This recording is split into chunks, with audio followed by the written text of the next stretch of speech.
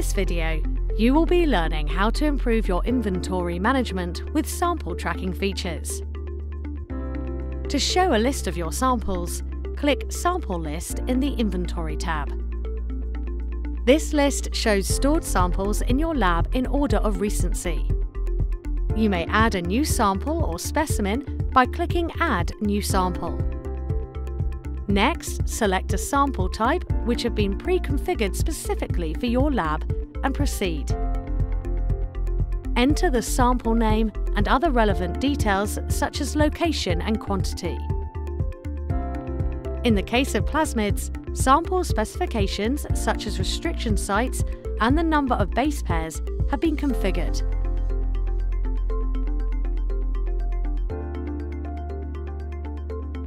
Select the newly added sample to view the sample information and perform a range of tasks.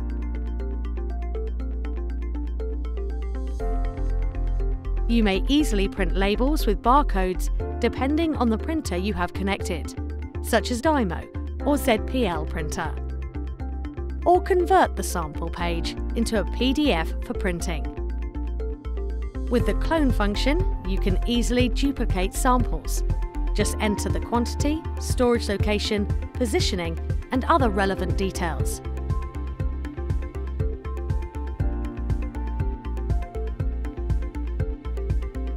Once saved, the clones can be found as part of the series under the series list.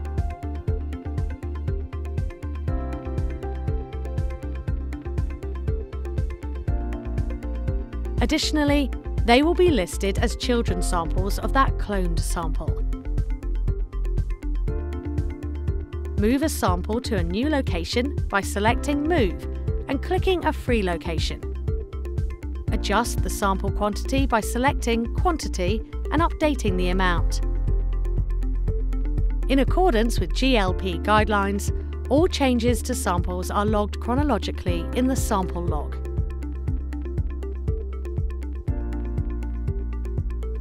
Click the button again to return to the sample form format. If you would like to alter sample details, click Edit. Click Delete to remove the sample entirely. All deleted samples are automatically stored in the sample archive for later access or restoring. Nothing is removed permanently. To restore the sample, find it in the archive, click Edit and select a location.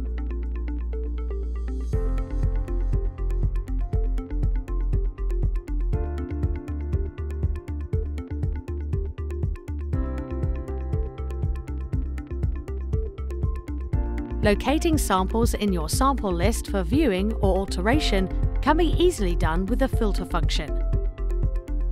Filter by owner, type or location.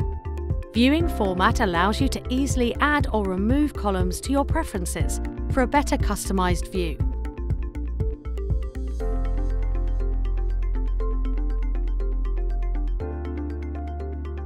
Once ready, click Apply and Save so that your preferences are saved for future use.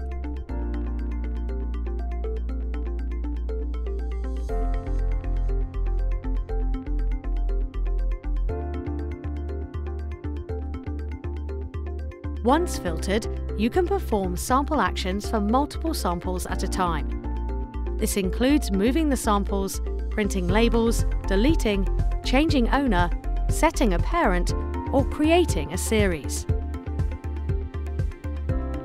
You may also locate samples with advanced search which provides more detailed filtering options. Use advanced group search to search for samples within the group. Search by user, storage date, expiration date, location, parent sample. Journal entries, sample types or sample fields within sample types.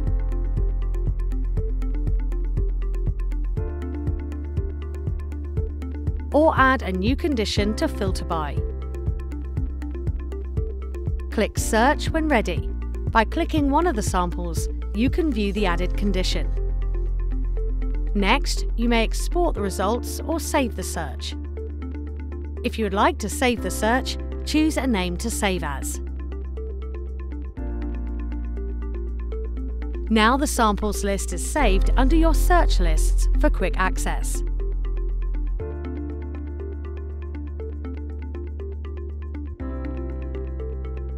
For more information about our products, visit elabnext.com.